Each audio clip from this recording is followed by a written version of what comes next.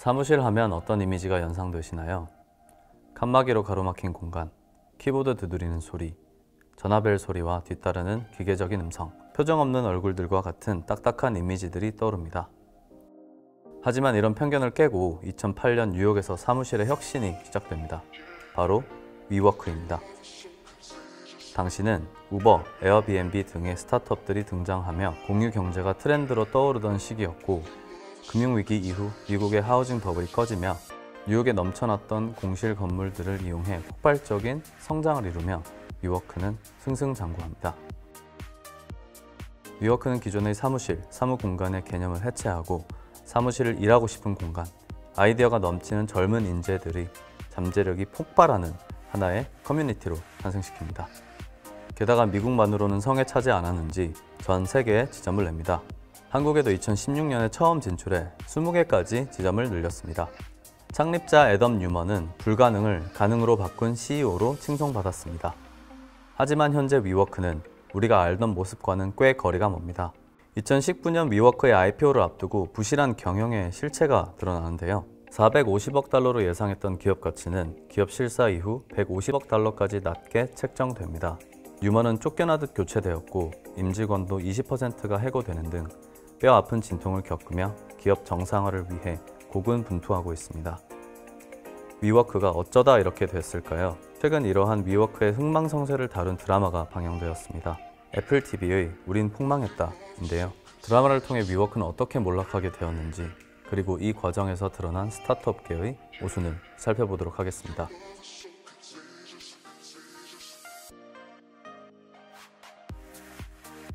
유머는 사업 모델뿐이었던 회사의 가치를 최단 기간인 9년 만에 470억 달러까지 끌어올립니다.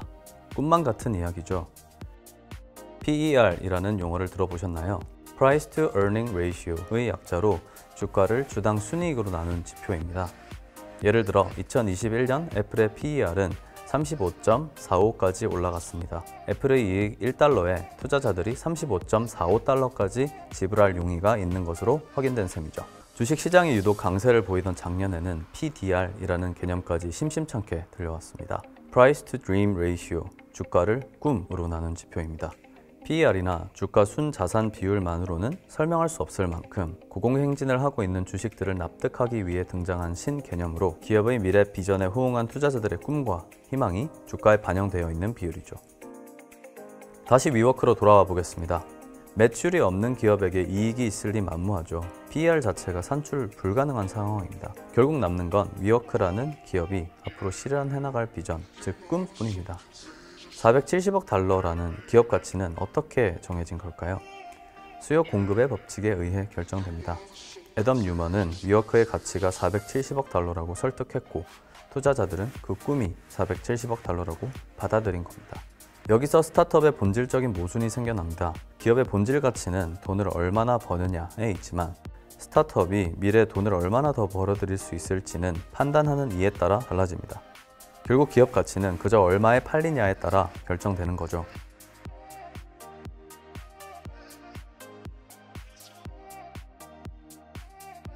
위워크는 젊은 감각의 인테리어와 개방적이고 트렌디한 사무 환경을 조성해 젊은 사업가들에게 폭발적인 지지를 얻었습니다. 사무실만 봐도 일하고 싶어지죠. 게다가 공짜 커피와 맥주까지.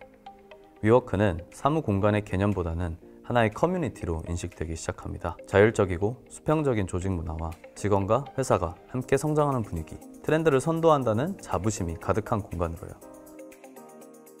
하지만 정작 위워크 직원들의 생각은 달랐습니다. 위워크가 팽창하면서 직원들의 불만도 함께 커져갑니다. 낮은 월급을 스톡 옵션으로 살인적인 근무 시간을 위워크는 가족이다 라며 합리화하는 경영진의 태도는 점점 직원들의 신뢰를 잃어갑니다. 스타트업의 직원들은 언제 망할지 모르는 리스크를 스타트업 대표와 공유하는 사람들입니다. 스타트업에서 일해본 적이 있는 분들이라면 많이 공감하실 내용일 것 같은데요. 낮은 연봉을 조직과 조직원의 동반 성장과 성취감으로 잦은 야근과 부족한 야근 수당을 한 배를 탄 동료 의식으로 극복해야 하는 부분이 있죠. 조직은 조직원에게 헌신하라고 하지만 정작 헌신할 동기를 주지 않는 모순으로 보이기도 합니다.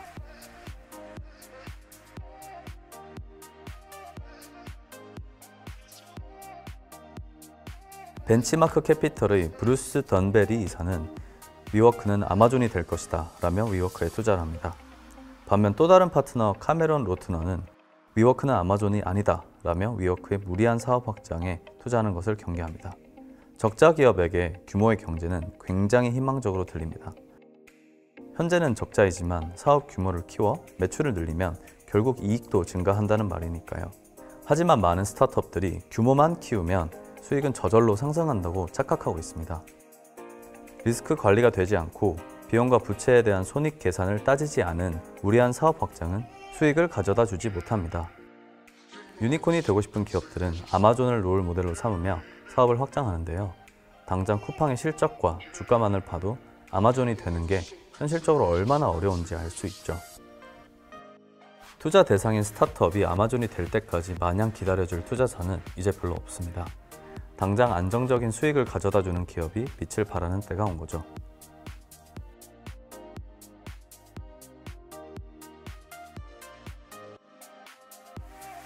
스타트업의 몰락에 대한 책임은 대부분 CEO가 지게 됩니다. 위어크의 손실을 막아보고자 뉴먼은 신규 투자를 위해 많은 투자자들을 만나는데요. 이중 소프트뱅크의 손정희 회장은 애덤에게 더 미쳐야 한다고 조언하죠. 미팅 이후 위워크는 더욱더 공격적으로 사업을 확장하고 적자는 더 커지기 시작하죠. 과연 손정희 회장은 위워크의 몰락에 책임이 없을까요? 투자자는 투자를 약속하며 기업의 사업 방향을 간접적으로 유도합니다. 파괴적 변화를 주문하며 CEO가 한 발이 아니라 세 발은 더 나아갈 것을 촉구하죠. 최종 책임은 대표가 지는 걸 모르는 사람은 없지만 이 경우 투자자 또한 도의적인 책임으로부터 자유로울 수는 없어 보입니다. 지금 이 순간에도 수없이 많은 스타트업들이 고군분투하며 혁신을 이루기 위해 최선을 다하고 있습니다. 지금 이 스타트업계의 겨울이라고들 말합니다. 겨울이 올 거라고는 많이들 얘기했지만 이렇게 빨리 추워질지는 아무도 몰랐던 것 같습니다. 투자자들도 리스크를 감소하는 것보다 안정적인 수익 모델이 있는 스타트업에 투자하기를 원하는 분위기죠. 스타트업과 투자자 모두 스스로를 돌아보아야 할 시간입니다. 스타트업계가 위워크의 사례를 타산지적 삼아 회사 내부에 있는 모순을 찾아내고 하나둘씩 해결해 나가기를 기원합니다.